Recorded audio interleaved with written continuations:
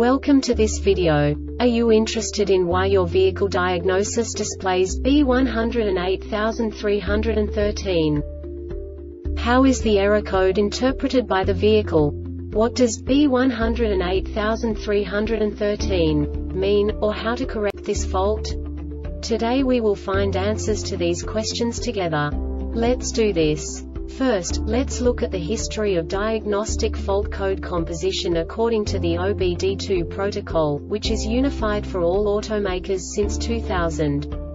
We divide the electric system of automobile into the four basic units. Powertrain, body, chassis, network. This distribution is defined in the first character code. If the second character is expressed as zero, it is a standardized error. In the case of numbers 1, 2, 3 it is a more prestigious expression of the car-specific error. The third character specifies a subset of errors. The distribution shown is valid only for the standardized DTC code. Only the last two characters define the specific fault of the group. The add-on to the error code serves to specify the status in more detail. For example, a short to the ground. Let's not forget that such a division is valid only if the other character code is expressed by the number 0. Our website airbagreset.sk produces useful videos for you. You do not have to go through the OBD2 protocol anymore to know how to troubleshoot any car breakdown. You will find all the diagnostic codes that can be diagnosed in a Lincoln vehicles. Also many other useful things. The following demonstration will help you look into the world of software for car control units. You unbelievably can move the video a bit further. The error code is split into two bytes consisting of 16 bits. One bit is the basic unit that each computer works with. The bit has two logical states. 0, low level, 1, high level. By combining the first two bits, the basic character of the error code is expressed. The next two bits again determine the second character. The last beat styles of the first byte define the third character of the code.